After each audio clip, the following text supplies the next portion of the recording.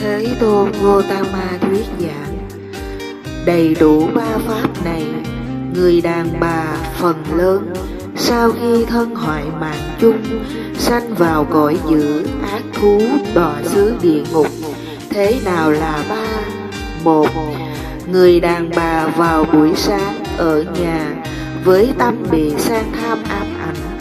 Ưa thích người này, ghét bỏ người kia Cái này của mình, cái kia của ta Hai Vào buổi trưa ở nhà với tâm bị tận đố ám ảnh Với tâm bất thiện, ganh ghét người bằng mình hay hơn mình Bằng chê bai hoặc chỉ trích để hạ uy tín thanh danh của họ xuống.